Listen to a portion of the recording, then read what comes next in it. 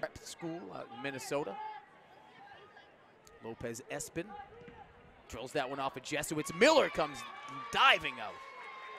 To get a hold of that one had Loomis right in front of him. Here it comes. Easy routine save for Miller.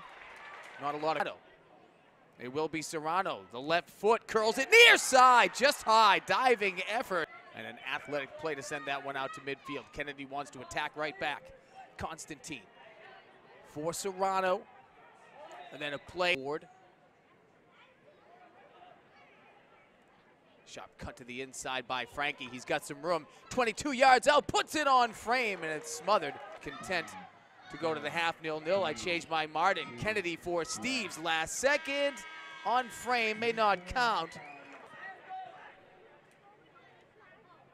Franke has to hurry. He does. He puts it on the ground, punched away by Miller. As far as time is concerned, who's going to get there first? Lomas. That one off the hands of Kennedy, no call. Still Noah Franke with a chance. Weaves inside, grab, kick. He just misses. For Vigliotti.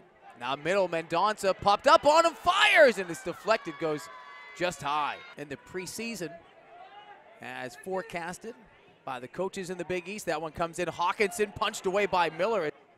Triangular tic-tac-toeing there, Polon, Franke and Stauffer. Now that one's drilled but handled cleanly. Hit Noah Franke with speed. Lopez Espin cuts back, fires, and misses high.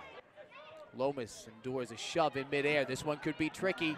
Jesuits in the final 10. Lopez Espin, Miller all the way out of the net. The shot is going to curl wide. Lost it to Griffin.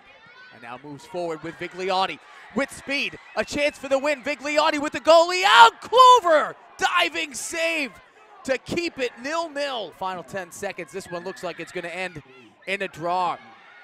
Minus a glaring error by either one of these two teams. And that'll do it. Nil-nil is the final after 110 minutes.